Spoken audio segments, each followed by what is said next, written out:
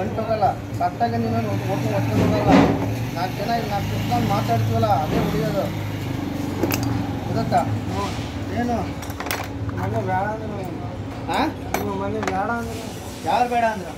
ಸೇರ್ತಾರೆ ಬೇಡ ಅಂದಿದ್ದೆ ಹೇಳ್ತಿದ್ದೆ ಅವ್ರು ಸಾಹೇಬ್ ಪರಿಚಯ ಮತ್ತು ನಾನು ಅದೇ ಎಲ್ಲರೇ ಓದ್ತಾರೆ ಇದು.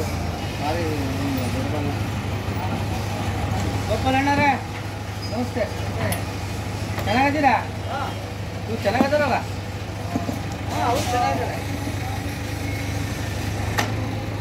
ಚೇರು ಯಾಕಿಂತ ಹೊಸ ತಂದಿದೆಯಲ್ಲಪ್ಪ ಅಂದೆ.